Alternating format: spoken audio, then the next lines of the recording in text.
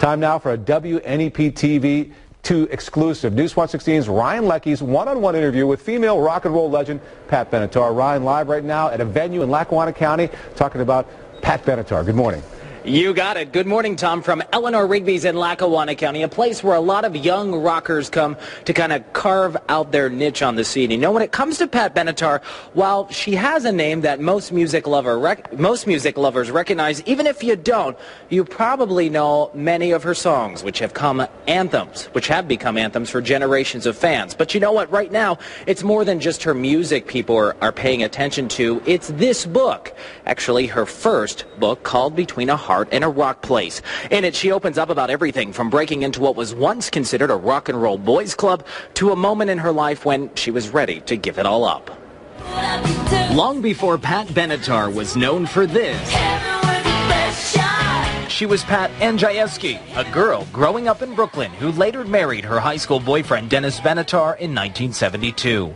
A wedding she describes in her new book as a terrible mistake because the two just didn't mesh after marriage. The pair later divorced as Pat began her climb to the top. And one person who this rock legend says hasn't gotten the credit he deserves for helping her make it is longtime guitarist and husband of 28 years, Neil Giraldo, who Pat nicknamed Spider for his black and yellow outfits. In her new memoir, Between a Heart and a Rock Place, Pat talks about Neil as her collaborator of sorts, the man who helped her turn that once classically trained voice into the iconic sound she could always hear in her head.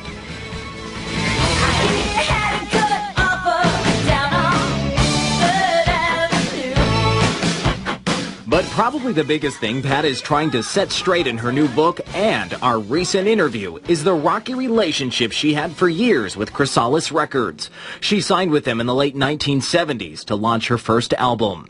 Pat and her husband Neil opened up about this and more to Newswatch 16 right before taking to the stage during a recent concert at Mohegan Sun at Pocono Downs near Wilkes-Barre. Everybody grows. You're not supposed to stay in this little box all the time.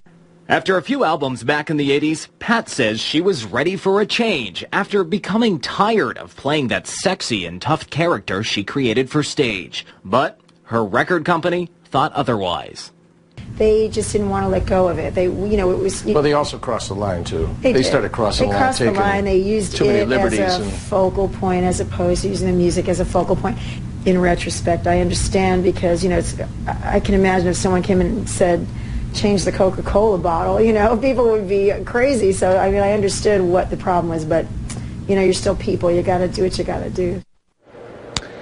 And Newswatch 16 tried to get comment from Pat Benatar's former record company, Chrysalis, but our calls were not returned. And coming up new in our next half hour at 7.30, you know, so many female rockers especially have said people just like Pat Benatar have blazed the trails for them to really do their thing on all sorts of stages, touring venues across the country. So what does she think about it? What does it mean to her? She'll weigh in on that coming up. Tom, back to you. You can't talk about music in the 80s without at least mentioning Pat Benatar. Big you stuff there. It. All See right. You, See you, Ryan. Thanks. It's a 16-2 exclusive, our interview with rock royalty Pat Benatar. Newswatch 16's Ryan Leckey spoke with her recently, and he's live at a concert venue that's always rocking in the summertime. Good morning, Ryan.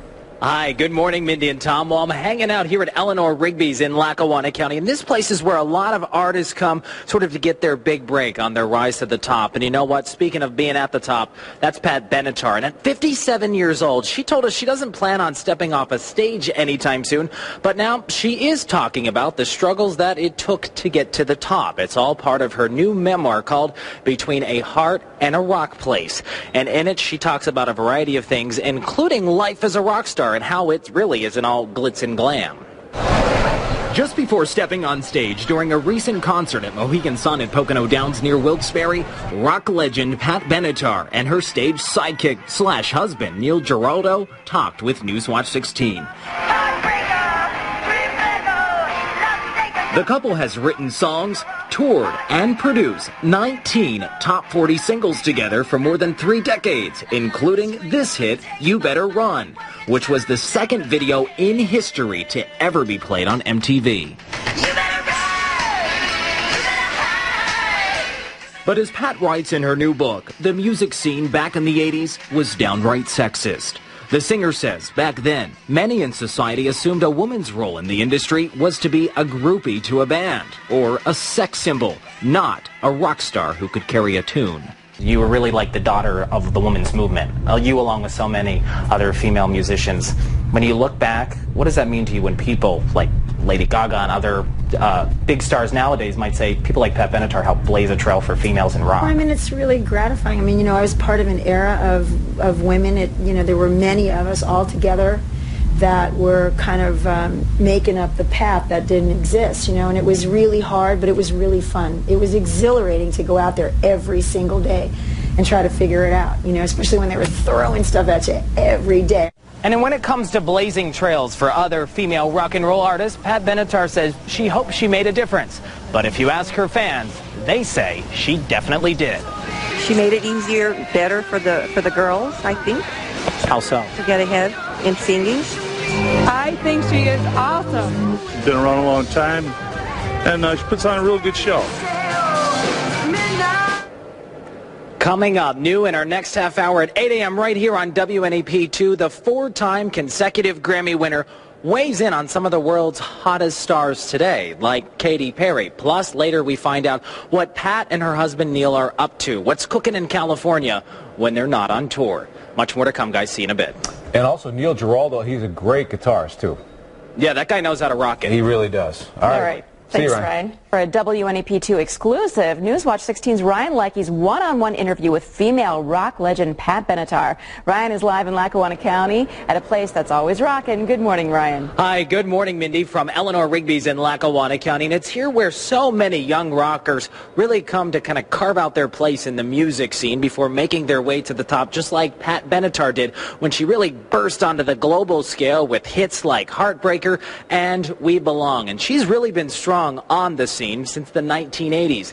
And just recently, she wrote a tell-all book talking about everything from touring, family life, and how she credits her husband Neil Giraldo for helping her hit every show with her best shot.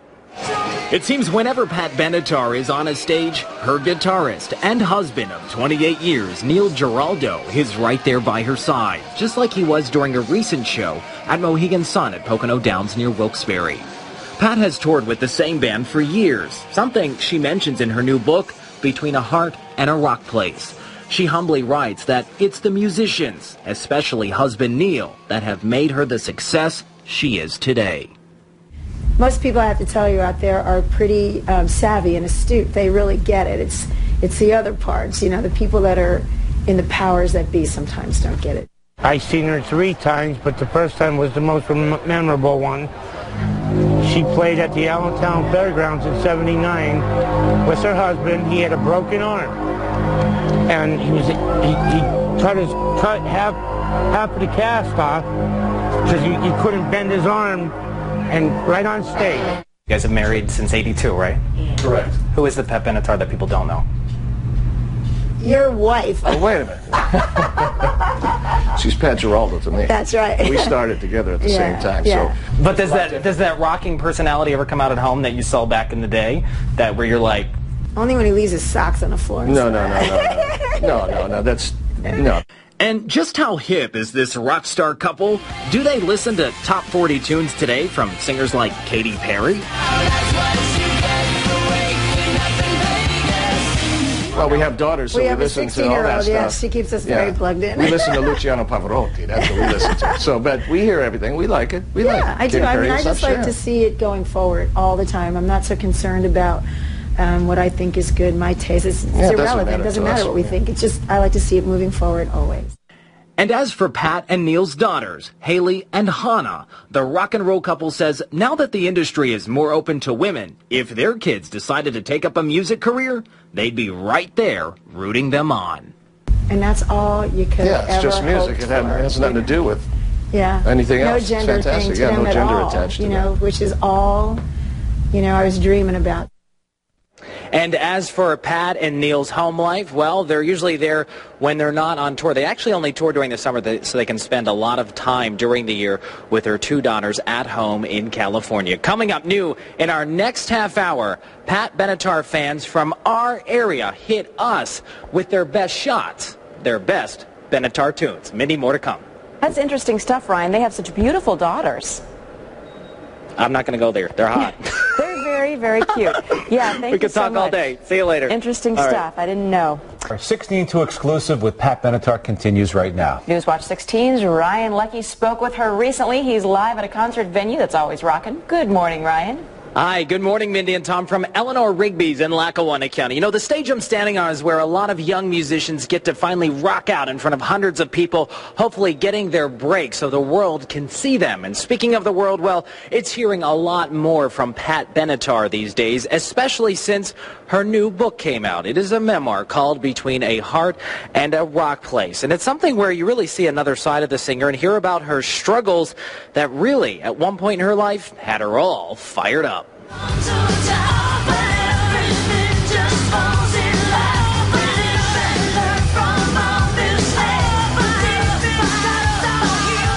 Singer-songwriter Pat Benatar has a lot to be all fired up about these days. A new summer tour, a new book, and a music career where she's now calling the shots.